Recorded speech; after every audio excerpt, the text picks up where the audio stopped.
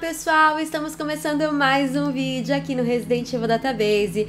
Eu sou a Monique Alves e hoje a gente vai falar um pouquinho sobre a DLC de Resident Evil Village que foi finalmente revelada pra gente, Sombras de Rose ou Shadows of Rose, que é o nome original em inglês.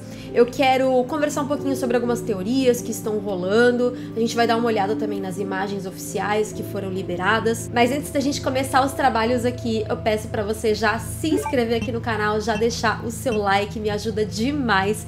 E por favor, compartilhe o nosso canal com seus amigos pra gente continuar crescendo aqui no YouTube, porque com 125 mil inscritos vai ter cosplay da Ashley. Hoje a gente tá falando da Rose. Mas a Ashley também tá em alta, então eu prometi isso no calor do momento, tô um pouco arrependida, mas agora já foi. Então 125 mil inscritos, cosplay da Ashley. Antes da gente começar a falar especificamente sobre os Sombras da Rose, né, que vai ser essa nova DLC, a DLC em si, o conteúdo adicional, a expansão que eles anunciaram no último showcase da Capcom, vai ter três conteúdos extras. Além dos Sombras da Rose, que é um capítulo extra de história, também vai ter coisas adicionais no modo Mercenários e também vai ter a adição do modo em terceira pessoa da campanha principal com o Ethan, tá? Então, todo esse pack, ele é chamado de expansão Winters ou Winters Expansion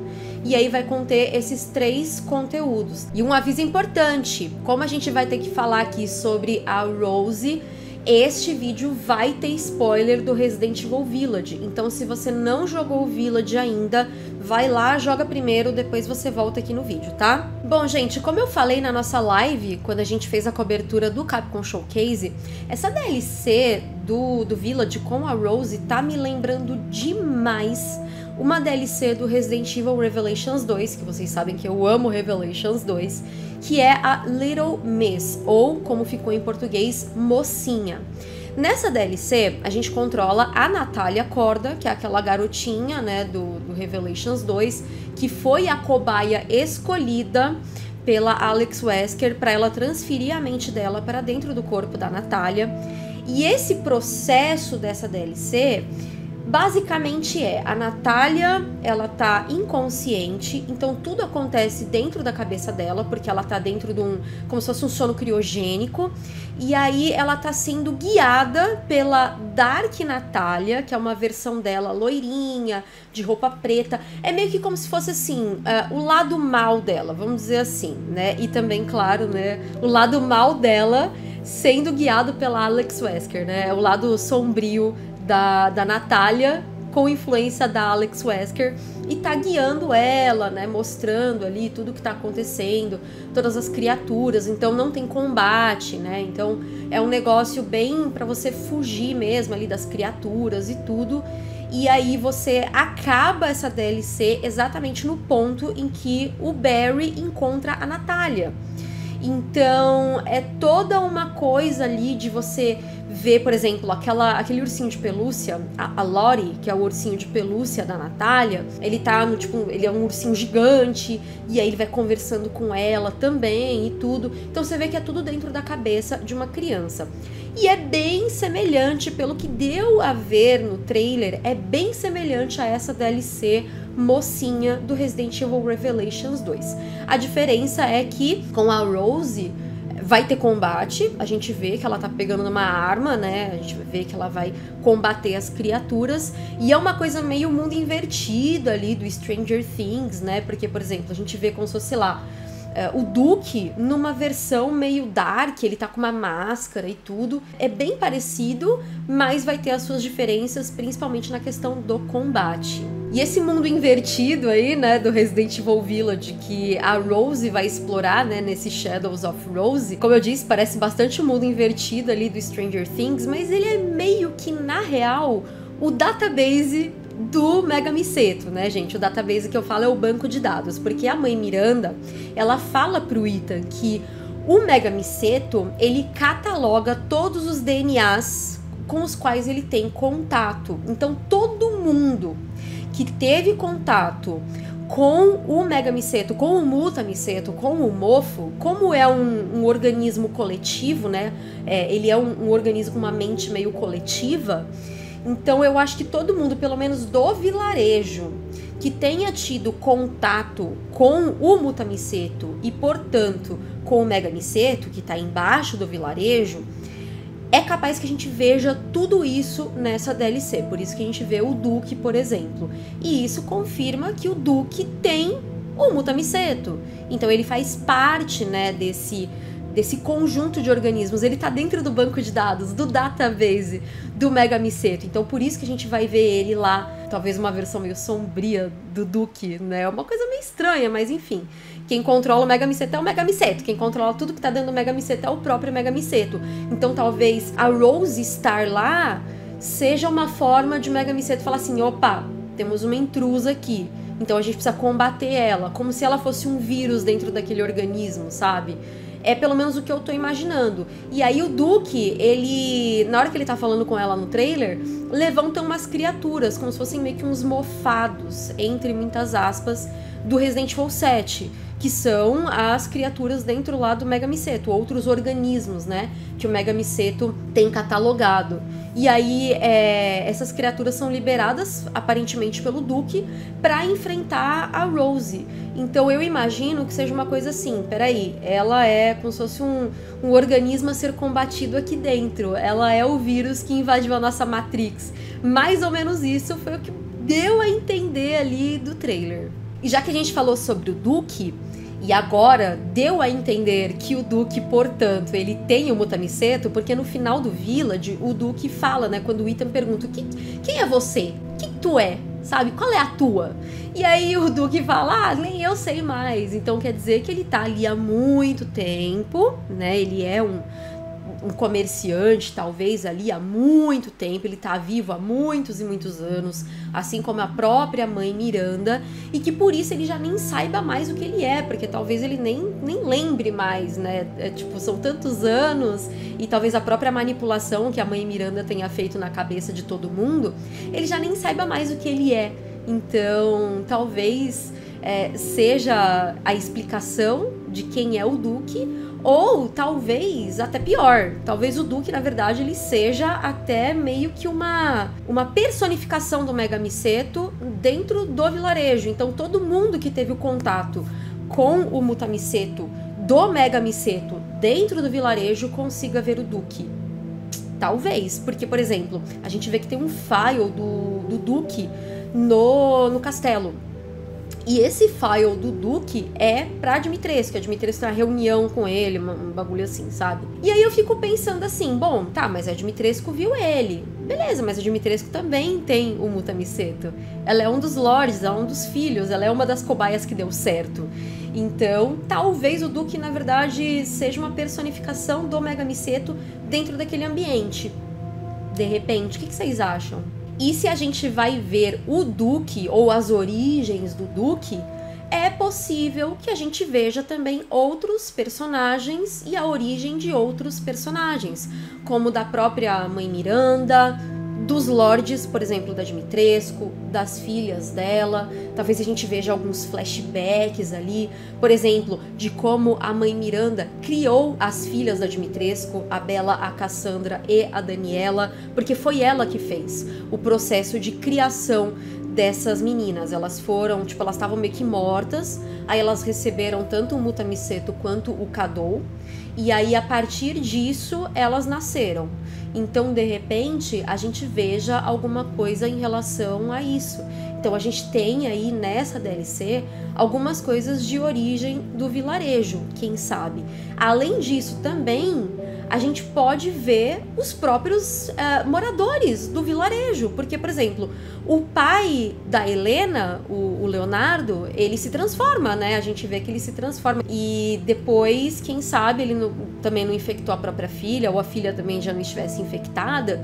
E aí a gente finalmente veja alguma coisa, né, da Helena e do Leonardo também nessa DLC. Porque a gente achava que essa DLC poderia ser com ela, né? Mas, enfim, ainda não descartamos a possibilidade de ver a Helena e o pai dela nessa DLC por causa disso. Porque talvez eles estejam, talvez não, eles estão dentro do banco de dados do Mega Miseto. Especialmente porque a mãe Miranda, na verdade, ela contaminou todo mundo, todo o vilarejo. Então, até a Luísa, talvez a gente veja, aquele cara bebum, a Roxana, o marido da Luísa que sumiu, enfim, é capaz que a gente veja essa galera toda. Também foi revelado que nessa DLC, quem está guiando a Rose ao longo de todo o caminho ali, que vai deixando umas mensagens para ela, tipo, ou oh, vai embora, fica aqui não, é um tal de Michael. A gente não sabe quem é este Michael ainda, mas já estão surgindo aí pela internet algumas teorias. E uma das teorias mais fortes é de que esse Michael tenha sido uma criança que foi entregue para a Dimitrescu, um menino que foi entregue para a Dimitrescu. Por quê? Tem um file uh, que você encontra lá no castelo da Dimitrescu, que é o primeiro, quando você entra no castelo, é o primeiro file que você vai encontrar, que é um livro de hóspedes. Eu vou até ler aqui para vocês. Tem um registro do dia 5 de janeiro que tá como redneck. Só que a palavra que tá na versão original tá como delivery. E delivery também pode ser usado como parto. É como se fosse assim: deu à luz um menino, três meninas, né? Essas três meninas, imagina-se que pode ser que seja ali uh, a Bela Cassandra e a Daniela. E esse menino, o Michael, né? E aí eu fico pensando o seguinte: talvez seja uma entrega mesmo. Talvez a, a Dimitrescu ela precisasse de alguns corpos, né? Até mesmo para ela usar ali como pro, pros seus vinhos, né? Porque ela usava sangue humano, né? Nos vinhos. E tenham sido entregues mesmo. E aí, a partir disso, a Bela Cassandra Daniela, ela decidiu curar essas meninas que estavam semi-mortas e que elas se transformaram nas filhas dela. E esse menino talvez tenha morrido e ela tenha tentado de repente curar ele também, e talvez não tenha dado certo, alguma coisa assim. Ou a mãe Miranda levou ele porque ele poderia ser um receptáculo mais, uh, mais favorável ali, né? Mais, mais acessível ali, mais. É, mais interessante para ser a própria Eva, quem sabe? Porque a Miranda ela não estava meio que distinguindo homens e mulheres ali na questão dos, é, dos receptáculos. Tanto que tem dois lords que são homens, que é o Monroe e o Heisenberg. Então ela não estava fazendo distinção de quem poderia ser o receptáculo da Eva. Então talvez esse Michael fosse um dos receptáculos que ela levou e que talvez por alguma razão não tenha dado certo, ou que, sei lá, o Mega Miseto absorveu nunca mais devolveu, alguma coisa assim. Ou até a mesma, pode ser que seja o próprio Mega Miseto, né? A consciência geral, né, uh, do Mega Miseto que seja esse Michael. E agora, gente, eu quero falar sobre a melhor das teorias que eu vi até agora. Inclusive foi no chat da live do Resident Evil Database. Inclusive, eu não lembro quem foi. Então, se foi você, coloca aqui no chat, eu vou pinar o seu, o seu comentário falando assim, fui eu. Gente, essa teoria é muito maravilhosa. Porque é o seguinte. Como eu disse para vocês, lá da DLC Little Miss, mocinha, lembra que eu falei para vocês que a Natália tá sendo conduzida por uma outra Natália? Uma Dark Natália? Quando a Rose entra, tem uma cena do trailer que a gente vê que quando ela entra, né, no, tem uma cena, não sei que quando ela entra ou se ela já tá lá dentro, que ela encontra uma Rose. Ela encontra uma menina igual a ela. Ela fala assim: Ô, oh, você é igual a mim. Primeiro eu pensei que poderia ser uma Dark Rose, alguma coisa assim, né? Mas agora eu tô achando, a partir dessa teoria, de que essa menina que ela encontra, na verdade, é a Eva. É a filha da mãe Miranda que a mãe Miranda perdeu lá no período da gripe espanhola e que fez, motivou ela a tudo o que ela faz durante o Resident Evil Village. Cara, eu achei isso maravilhoso. Então, meio que seria a Rosie encontrando a Eva. O DNA da Eva foi usado para criar a Eveline e que não deu certo. E que, portanto, gerou, no fim das contas, ali durante todo o processo do Resident Evil 7, a Rosie Então, assim, ela vai conhecer a verdadeira Eva, a pequena Eva, minha pequena Eva, Eva, o nosso amor na última astronave. E eu simplesmente amei essa teoria, porque assim. Quando a mãe Miranda é, percebeu que a filha estava morta tal, ela foi caminhando até uma caverna. E aí, quando ela chegou nessa caverna, ela encontrou o Mega Miseto. E aí ela pegou, tocou no Mega Miseto, e aí ela, né, o, o Mutamiseto entrou no corpo dela, se adaptou ao corpo dela, tudo. Aí ela pegou, foi lá, pegou a filha dela, pegou é, a filha dela pro Mega Miseto absorver também, né, o DNA dela. Então, basicamente, a Eva é um dos primeiros organismos que o Mega Miseto incorporou, que a gente tenha conhecimento. Porque a gente não sabe se, por exemplo, os fundadores do vilarejo já não manipulavam o Mega Miseto. Então, talvez até mesmo os fundadores do vilarejo a gente encontre nessa DLC. E eu agora tô bem empolgada. Olha, eu confesso para vocês que essa DLC não era o que eu tava esperando. Eu tava esperando uma DLC com o Chris, tá, gente? De verdade, porque assim, como Resident Evil Village, ele foi inspirado pelo Resident Evil 4 original, no Resident Evil 4 original, a gente tem a campanha principal com o Leon e a gente tem o Separate Ways, que é como se fosse um lado B da mesma história com a Ada. E eu pensei que eles fossem fazer a mesma coisa, que eles fossem fazer uh, a DLC do, do Village ser o lado B da história com o Chris, porque a gente não viu como foi toda a investigação do Chris, entende? Então eu achei que a gente fosse ver esse lado da investigação. Mas me decepcionei inicialmente porque eu queria ver o lado do Chris dessa história mas vamos ver, vamos ver como é que vai ser essa DLC. Sei lá, eu achei meio estranha a princípio, mas agora falando sobre ela eu tô achando um pouco mais interessante. Tomara que seja mais interessante, não seja uma DLC preguiçosa. Quem mais pode aparecer, gente, nessa DLC, além do Duque, uh, até dos Lords, da própria mãe Miranda e tudo? Lembrem-se que essa DLC ela vai se passar 16 anos depois dos acontecimentos do Resident Evil Village. Então, basicamente, a Rose no Village, ela tinha seis meses de, de idade, né? Ela era um nenezinho, então agora ela tá ali entre os seus 16 barra 17 anos. Então, muita coisa aconteceu nesse período. A gente sabe que, por exemplo, o Chris está cuidando dela, meio que monitorando ela, né? E tudo. Então, eu acho que o Chris pode aparecer, um Chris mais velho e tudo. Outras pessoas que eu tava pensando que de repente pudessem aparecer. Poderia aparecer a Zoe, a Zoe Baker. Por quê? Porque aquele relatório da família Baker que a gente vê somente na edição deluxe do Resident Evil Village, mas que eu fiz vídeo analisando aqui no canal, então assiste lá depois, eu vou deixar na descrição e nos cards para vocês assistirem é, ela recebe uma carta da Mia, né, e, e, do Ethan com uma foto da Rose e tudo mais. Então, assim, ela sabe que a Rose existe.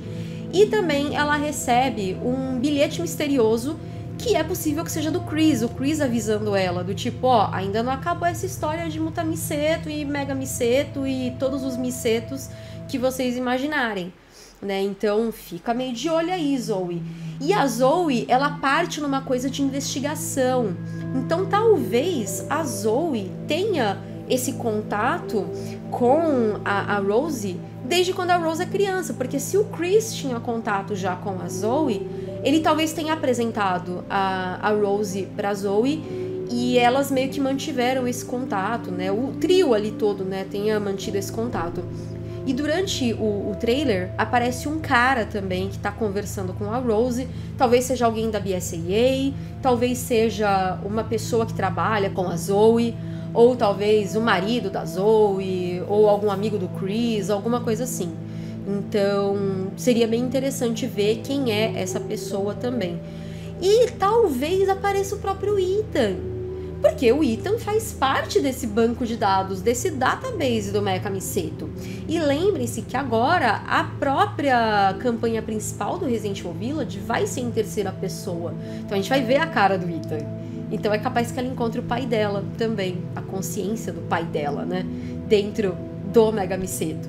Então vai ser o um encontro entre pai e filha ali dentro daquela consciência, é claro mas eu acho que vai ser um encontro bem emocionante. Se acontecer, né, gente? Porque a gente tá aqui especulando um monte de coisa. Aí de repente a DLC não vai ter nada disso. É o que eu sempre falo, gente. Às vezes as teorias dos fãs são muito melhores do que o que vai realmente acontecer. E isso talvez explique por que que no final do epílogo da Rose, do Resident Evil Village, que o pessoal usou a câmera para manipular quem era uma pessoa que estava andando lá distante, né, no horizonte quando o carro em que a Rose está indo embora é o Ethan.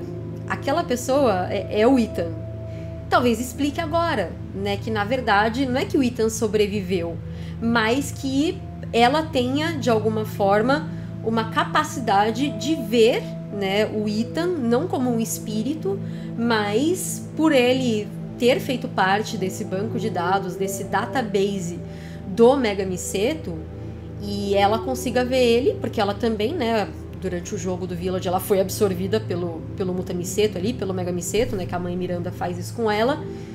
E aí explicaria também de de repente até o Duque, na verdade, ser uma personificação do Mega Miseto durante a campanha do Village. Meio viajado? Totalmente, gente, mas as coisas são o que são. Na verdade, não, porque a gente tá só teorizando, então as coisas talvez sejam o que são ou não também. Bom, comenta aí embaixo o que, que você achou de todas essas teorias, de todas essas, essas ideias malucas que eu coloquei aqui pra gente pensar a respeito dessa DLC do Resident Evil Village e com certeza a gente vai continuar fazendo conteúdo conforme forem saindo novidades dessa DLC. Então já se inscreve no canal para você não perder, ativa as notificações. A gente também vai fazer lives quando sair essa DLC. Então tem que ficar ligado aqui no Resident Evil Database para você não perder nada. E se você gosta do trabalho que eu faço aqui no Resident Evil Database, considere se tornar membro aqui do canal, clicando no botãozinho Seja Membro aqui embaixo. Se não estiver aparecendo o botãozinho, tem um redirecionamento aqui para vocês e tem o um link na descrição também. A partir de R$ 2,99 por mês você tem acesso a vários benefícios, entre eles o nosso grupo secreto do Telegram e um monte de lives de games relacionados e lives antigas também do Resident Evil Database para você maratonar. E não perca também as nossas lives lá no site roxo, você também pode ser sub lá, tá bom? Então, se você já tiver o Amazon Prime, de repente, você for um assinante do serviço Prime da Amazon, você pode nos dar o seu sub gratuitamente lá no site roxo e lá também você vai ter acesso a vários benefícios, além, claro, de não perder as nossas lives, né, gente? E as lives lá são para todo mundo, não é só para assinante não, tá? Mas assiste lá, porque lá no site roxo a gente faz umas lives diferentes, a gente joga outras coisas além de Resident Evil. Então, já aproveita e segue lá também para você não perder. Eu vou ficando por aqui. Um beijo para todo mundo, até o próximo vídeo e tchau!